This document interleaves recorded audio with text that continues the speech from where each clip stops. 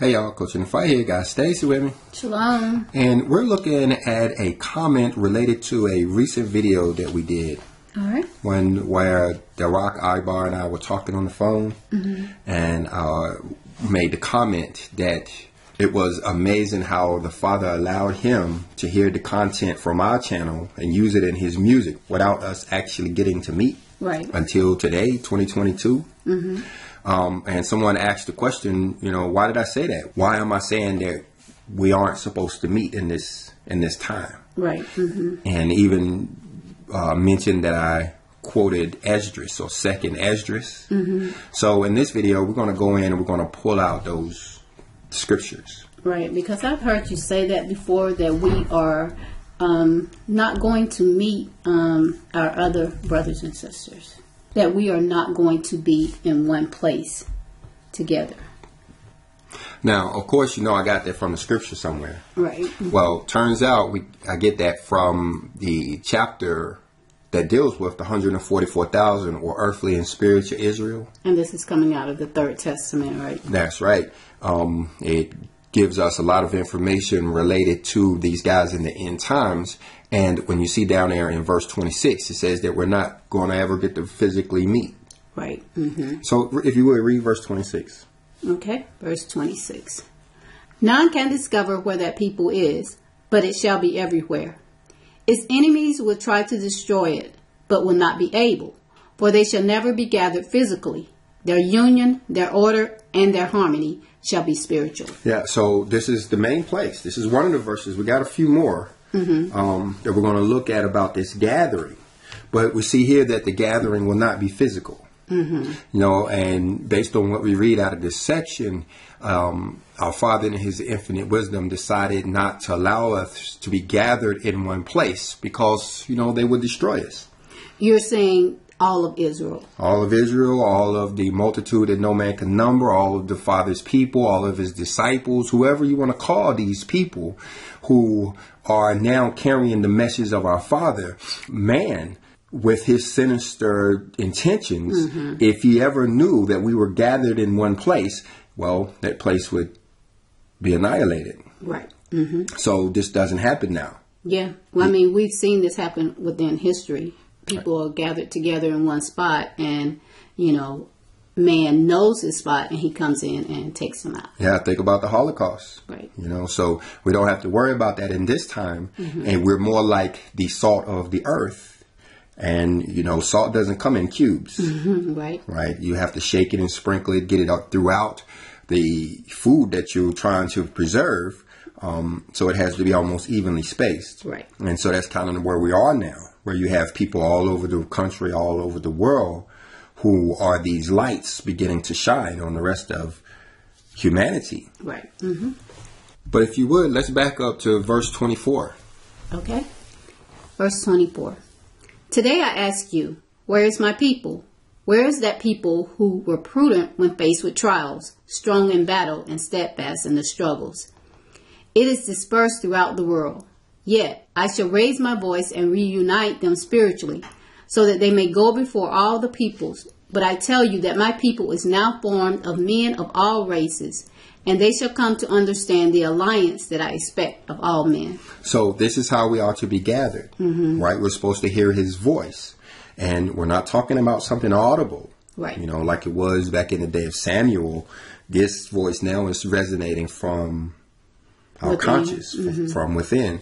And this, like I said, is how it's going to be gathered. So this is how we're going to be gathered. And so this answers the question why I say that we will never meet. Mm-hmm. But let's go on to the part of Second Esdras that we mentioned, and that's coming out of verse 38 of chapter 2 of Second Esdras. Okay. If you would, go ahead and read that. Okay. 38. Arise up and stand. Behold the number of those that be sealed in the feast of the Lord. So this right here is talking about the sealing. Mm-hmm. This is the same sealing that we hear about over there in the book of Revelation. Right. particularly down in chapter 7, we hear about the sailing of the 144,000. Mm-hmm. And it goes on to mention that multitude that no man can number. Mm-hmm. Can't forget those guys. But one thing that I want to bring out in this verse here, in relationship to the timing of all of this is how it says here that the sealing will take place before the earth is ever hurt or the seas or the trees. Many of these apocalyptical events will take place after the sealing. Mm-hmm. Mm-hmm. With the exception of the day of the Lord that we read about in chapter 6. Okay. We see that it comes first. Where you see right there where it says, matter of fact, go ahead and read verse 12. Verse 12. And I beheld when he had opened the sixth seal, and lo, there was a great earthquake, and the sun became black as sackcloth of hair, and the moon became as blood. Now, because of the Third Testament, we understand these seals, understanding that we are now in the sixth seal, mm-hmm. right? And so we're waiting for this particular event to take place. Um, but you see how it's talking about the sun and the moon mm-hmm. Going dark. And then right there in verse 13, it starts talking about the stars in heaven. Right. If you would read that. And the stars of heaven fell unto the earth, even as a fig tree casts her untimely figs when she is shaken of a mighty wind. So we have this right here, which we understand to be the day of the Lord. Right. And it comes before the sealing. Mm-hmm.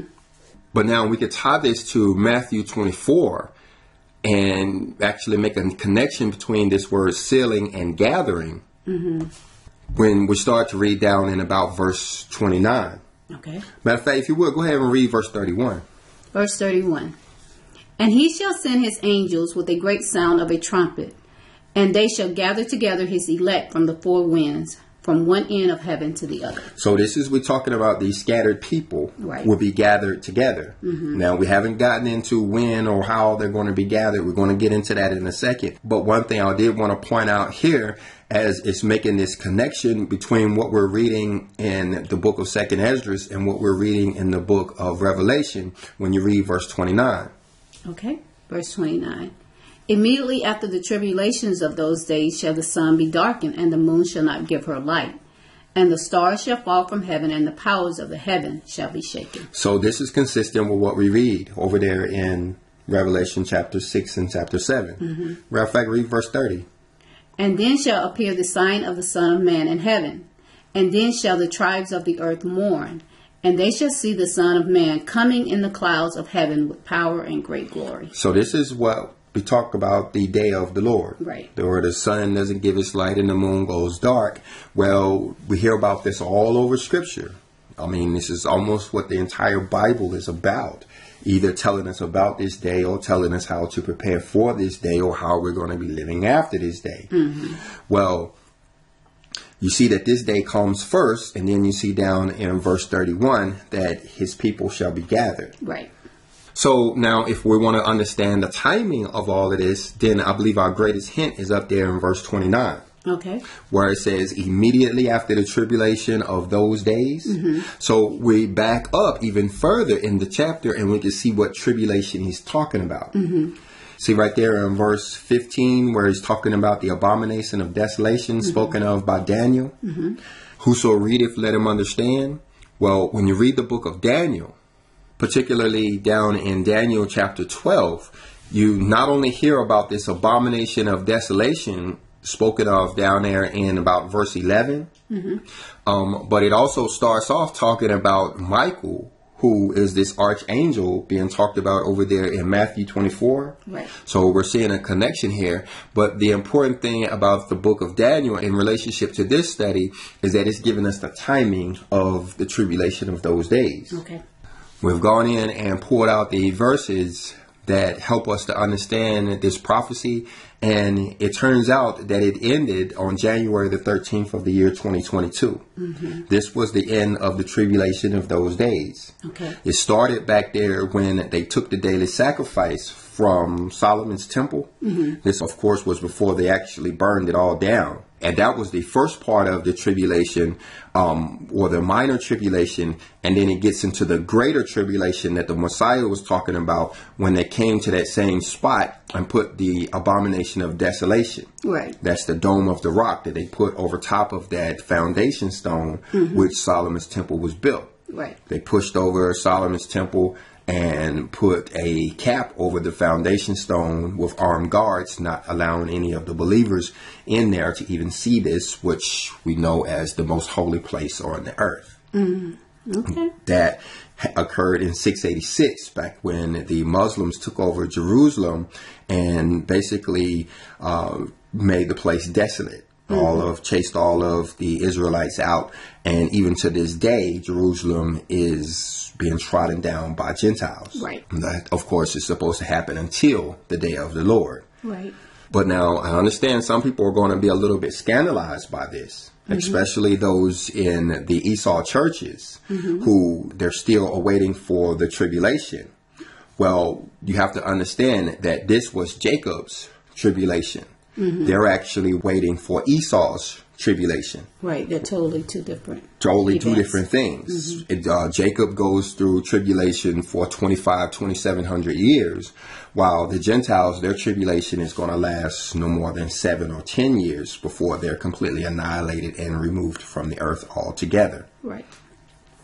So don't be confused when people tell you that we're waiting the tribulation. You're waiting their tribulation, while our tribulation, because we are Israel or Jacob, our tribulation ended January the 13th of the year 2022. Right.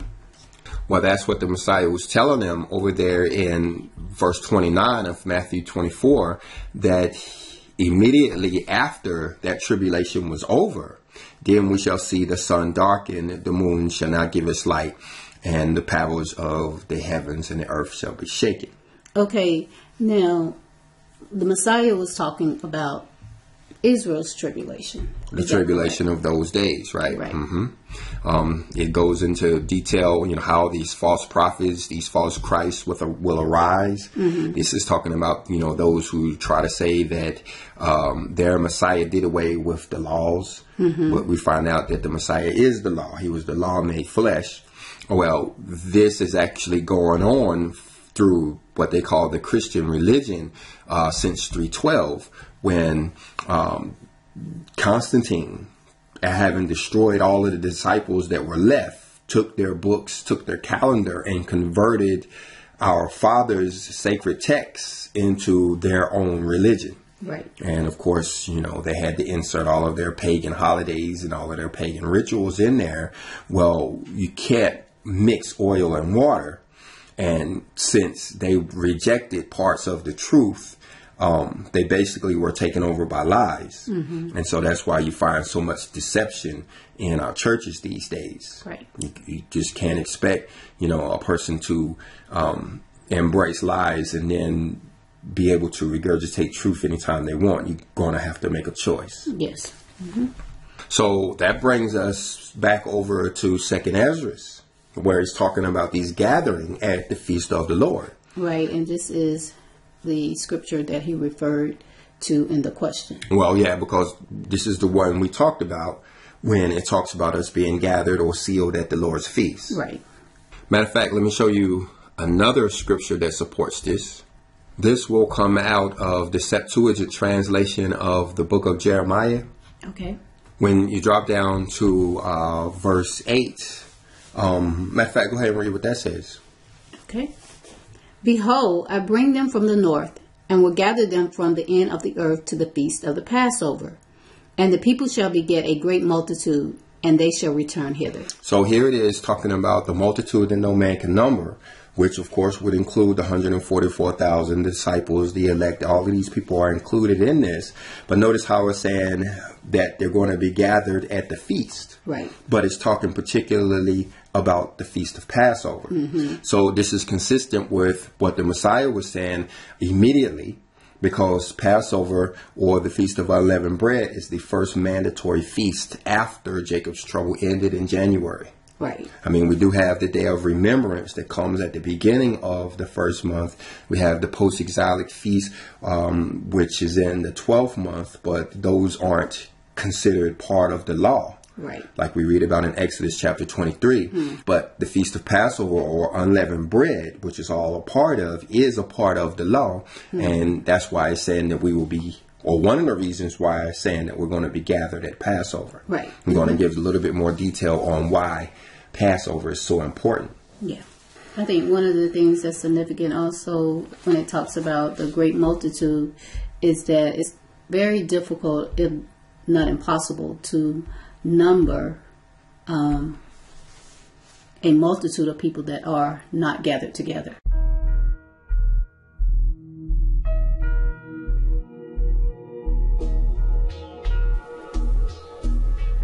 But anyway, I want to come over to the epistle of Barnabas to show some importance with Passover Okay. and to make it make sense why we will be gathered at Passover Okay. opposed to Tabernacles or Pentecost or one of the other feast days. We're going to come all the way down here to chapter 8 where it starts talking about the temple, mm-hmm. the third temple, a lot of people refer to it as. Um, a lot of people refer to it as the kingdom of heaven or that rest that Adam was promised back there in the book of Adam and Eve. You see right there in verses 12 and 13 that he's telling us that it will not be a brick and mortar temple. Right. How, you know, they turned that into a vain thing, vanity. You see in verse 14 how it was destroyed. And in 15 it talks about how they will be given up. Down in 16 they start saying, okay, well, will there be a temple at all? In verse 17 he starts to explain the temple verse 18 he tells him how it's not going to be built with man's hands at all but then in verse 20 he tells us how the temple will be constructed Okay. matter of fact go ahead and read verse 20 Consider how that the temple of the Lord shall be very gloriously built, and by what means that shall be learned. okay so this is talking about the third temple Right. don't be confused the same people who have you believing in a false messiah wants you also to believe in a brick and mortar temple Yeah, I guess they're taking this scripture to say that it's going to be uh, magnificently built and um, sort of like that one in which Solomon built, Yeah. gloriously built. But now, got to understand, Solomon's temple was built by angels and other Elohim. It wasn't built by hands either, Right. um, like the second temple was built by Zerubbabel and those guys. But anyway, look at verse 21. Having received remission of our sins and trusting in the name of the Lord, we are become renewed, being again created as it were from the beginning. Wherefore God truly dwells in our house, that is, in us. So here it is telling us how the temple would be constructed. Right. Mm-hmm. But yet and still, we come in and ignore that, and um, we make the scripture say what we want, which is a building. Well, they do. Right. We don't do that. That that's what they do. Mm-hmm. Anyway, like we said, that's why they're going away. But what we do is we look at the scripture and let the scripture define itself, and it's telling us that the third temple, like Peter was saying, will be built out of us, who are these lively stones. Mm-hmm. And we see here how the construction process, or when the construction process takes place, with these stones being gathered together in the temple. And that is the time when we have received the remission of our sins Right. and trusting in the name of the Lord. Yes. Okay. Now we could come over to the Shepherd of Hermas, and you guys can find links to these books down in the description of this video.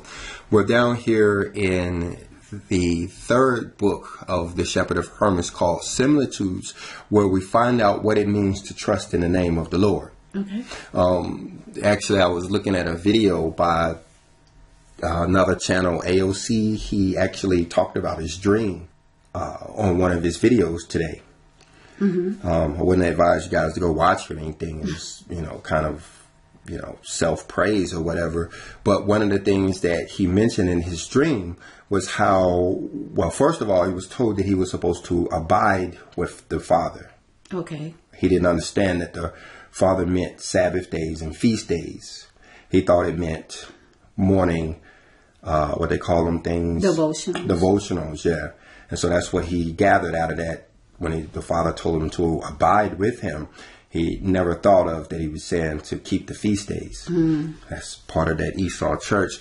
But anyway, he went on to talk about how there was a storm coming. I think he described it as a tornado or a hurricane that was coming.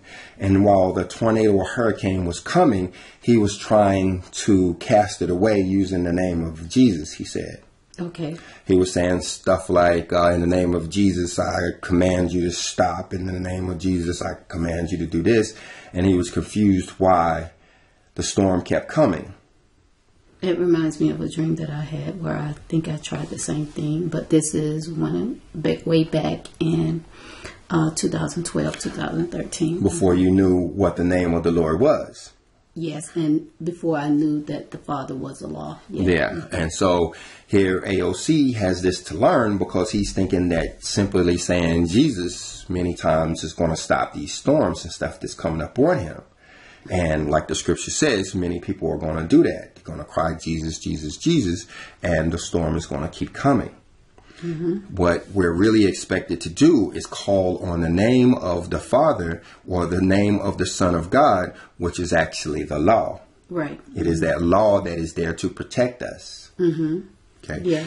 And there is power in the name Jesus, but it's not going to stop the storm. This storm is still coming. If we want to survive this storm, we're going to have to take on the true name of the Son of God, which is the law. Just like the book of John, chapter 1 and verse 1 says, the Messiah is the Word, and the Word was made flesh, it very well should have said that the Messiah is the law, and the law was made flesh because the Messiah is and was the walking law. Right. What had happened with me, and very briefly, is that um, I do believe an entity was visiting me at night, um, and this was going on a while, and you know, I did say, start saying Jesus, Jesus, Jesus, Jesus, because that is the only thing I was taught and it's the only thing that I knew from growing up in, um, with a Pentecostal background.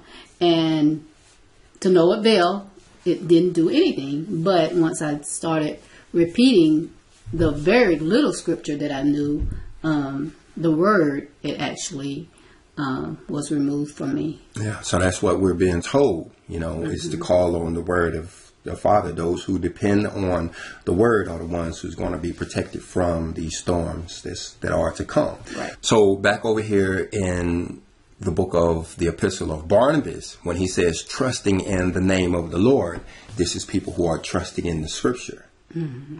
You know, not necessarily trusting in words that they're speaking with their mouth in the last minute to yeah. save them, but actually depending on the word of God. And that should be stressed here. Right. Mm-hmm. But another thing that it's talking about is having received the remission of our sins. Right. Mm-hmm. Because this, too, I believe, is the key element to us being gathered into this temple. And when we come to the Bible and look for the words remission and sins in the same verses, we see Matthew chapter 26, verse 28, mm-hmm. which is talking about the blood of the New Testament. Right. Or the blood of the New Covenant. Matter of fact, if you would read back there at verse 27. And he took the cup and gave thanks and gave it to them, saying, Drink ye all of it. Go ahead. For this is my blood of the New Testament, which is shed for many for the remission of sins. So this is how we get the remission of sins is through the blood of the new covenant, which we know as what? The Passover. This is the Passover ceremony. This is what the Father was doing. He was allowing us a way to get our sins remissed, allowing us to return back to a cleanliness state, like we learned over in the epistle of Barnabas, which allows us to enter this third temple. And by remissions of sin, we're talking about forgiveness for not keeping the law. Is that correct? Well, remission means cancellation.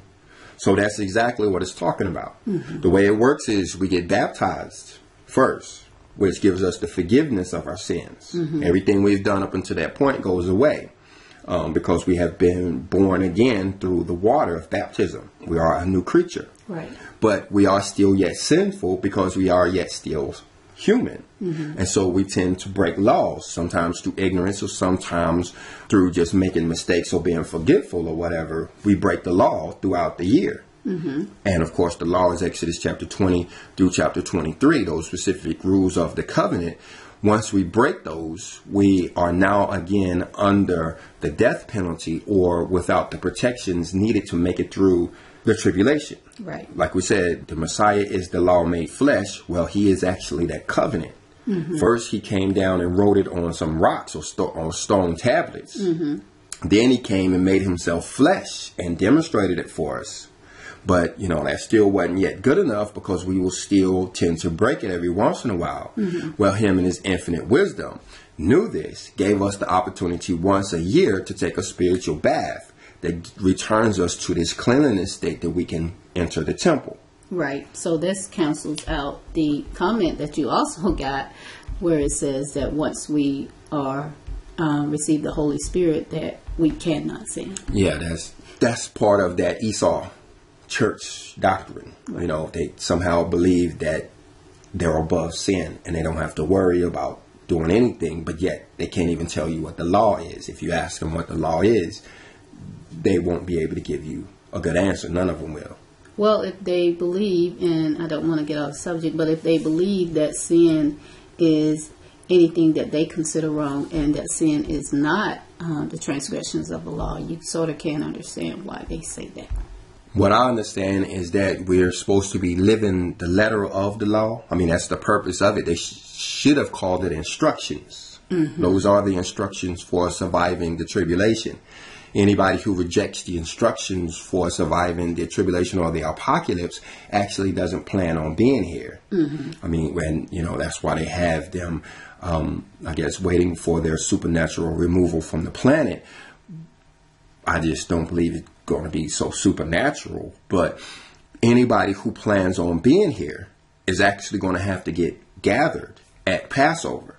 We're going to have to get these sins remissed or canceled out else we will never enter a state of purity that we can now expect the Father to dwell in our house. We're just going to be too nasty. Right. And that brings me to the point of why it's the year 2022. Okay. Well, Jacob is now waking up. Mm-hmm. Jacob's trouble is over, and Jacob is now waking up, but he's waking up in a dirty state. Unclean. State. Unclean. He doesn't know when the Sabbath days are. He doesn't know about the days of remembrance. He doesn't know about the feast days or when they are. He may, some of them have been following the Jewish calendar, and like the year 2021, they missed the feast days altogether because they was not following the Father's celestial calendar. Mm-hmm. So we're basically unclean, the majority of us. And that's why you know there's so much going on as far as man is concerned. He realized he has just a short time because come Passover, when these people take this spiritual bath, they're actually going to be empowered. So I have a question. What if all of Jacob does not get this information? What if they do not hear that they are yet in an unclean state and at Passover they can be renewed and cleansed um, what happens to the people who don't hear this and don't observe Passover? Well, that kind of brings me to something I was thinking about talking about in this video, and that's the spiritual meanings behind a lot of this. Okay. We're, we're told that we have to seek out the spiritual meanings behind many of these end time prophecies, else we're going to be in confusion and disappointment. Mm-hmm. Well, so in doing so, um, looking here, back over here, what we read about in um, Matthew chapter 24, mm-hmm. trying to find the spiritual meanings of the celestial signs. And what I come up with is the stars falling. Right. What you what you're talking when you talk about Jacob who does not keep Passover, mm-hmm. I believe he's going to be a part of the stars that fall from heaven. Okay, what how what does that mean spiritually? Well, let's back up. First of all, you see the sun being darkened. Yes. And then it talks about the moon. Mm-hmm. I believe this is talking about the three major religions of the world. You have the sun, which is Christianity. We were talking about that earlier. Mm-hmm. Their Easter holidays, their Christmas holidays are all in worship of the sun. Mm-hmm. That's what Constantine, the founder of the Christian church, was all about, was sun god worship. Right. So when it says that the sun is darkened, thinking only spiritually, is saying that the light is going to go dim on those religious leaders who teach sun god worship. Mm-hmm. The Christian ministers, the Christian teachers are going to all of a sudden go dim or go dark in their knowledge. Like the scripture says, there's going to be a famine on knowledge. Well, that's because the sun on a Christian religion is going to go dark. Okay. You remember you had to go to church uh, not too many weeks ago, mm-hmm. and I told you before you got there, either the uh, pastor was going to give you the best sermon you've ever heard in your life, right. or you're going to walk out saying that, hey, I could have talked out myself. Right. Which one was it? I could have taught that myself. That's because the light on the Christian church is going dim. Well, the Muslims are this moon religion here. No, it says shall not give her light. Same deal. It's going dark. Mm-hmm. Thinking spiritually, this moon religion is also going dark. right? These are the three major religions Muslims, Christians, and Jewish, or Muslims, Christian, and Israel are the three major religions. Well, you have the sun, the Christian religion going dark, the Muslim religion not giving its light. They're not going to have any information to share. They're going to be in this famine too. Mm-hmm. People going to be hunting down trying to hear a word from the Lord. Well, they're not going to find it in the Muslim religion either. Well, the third religion, which would be Israel, part of those stars will fall. Okay. These will be those who don't keep Passover. That's why it talks about a third of the stars will fall. Mm-hmm. So you can expect a third of the people in our, I don't want to call it a religion. We don't really have a religion, but a third of the people in our group are going to fall. And that could possibly be those who don't know um, about the Passover and don't keep it. Yeah, that goes back to the story of the wise virgins. You have 10 virgins, five of them were wise and had oil in their lamps, and five of them were unwise and were told to go get the oil. Well, the oil is the law. Right. And Passover is a part of the law. Um, it's actually unleavened bread, and we only call it Passover, but that's part of the three festival days uh, unleavened bread, Pentecost, and tabernacles that are required. And so, if you're not keeping Passover or unleavened bread, you're actually breaking the law, and your star will fall from heaven. And the book of Daniel over there, which I'm getting the major hints from right there in verse 3, is talking about the stars of the firmament. Well, those who are wise, meaning those who keep the law and are willing to teach the law, are going to be the stars that shine for forever. Matter of fact, go ahead and read verse 3. Okay. This is Daniel 12 and 3. And they that be wise shall shine as the brightness of the firmament, and they that turn many to the righteous as the stars forever and ever. So those unwise virgins who are not following the law themselves and maybe even teaching others not to follow the law, their stars are going to fall to the earth. And, you know, they're going to be subject to uh, man and what he has going on, along with the moon religions and the sun religions. Right. Mhm. And jumping back over, looking at uh, Revelation chapter 7 and verse 14, you see it's talking about there how these matter of fact, go ahead and read verse 14. And I said unto him, Sir, thou knowest. And he said to me, These are they which came out of the great tribulation, and have washed their robes, and made them white in the blood of the Lamb. This again is talking about Passover, mm-hmm. but it's talking about, like we see up there in verse 9, that great multitude that no man can number. Right. All of these people are going to go through Passover, making their garments white again, white by the blood of the Lamb. Mm-hmm. And these are going to be the people that's going to be regathered under the law mm-hmm. and ready to go on through these tribulations, through these apocalypses, and end up in the kingdom of heaven. Right. While those who reject this doctrine, they're actually going off into the spirit world. Mm-hmm. And many of them don't plan on being here anyway. So we won't worry about those guys at all. What we need to understand is that we are to be gathered at Passover, particularly in the year 2022, Right. because we're right here at the end of Jacob's trouble. Yeah. So it's very important that you guys, you know, share this video, especially to those brothers and sisters who um, do not know. Absolutely, because let me show you one more verse before we go. That's down here in chapter 55 of the Third Testament of the Bible. Like I said, guys, you can find a link to this um, book in the description. But if you would, read verse 7. Okay. When those chosen by me find themselves reunited round my law, the earth and the stars will be shaken, and in the sky there will be signs, because at that instant the voice of the divine spirit, surrounded by the spirits of the just, of the prophets, and the martyrs, will judge the spiritual and material realms. So this is important to this understanding. Like we've seen, the day of the Lord is all over this. Mm-hmm. We've seen connections in the book of Revelation, chapter 6 and 7.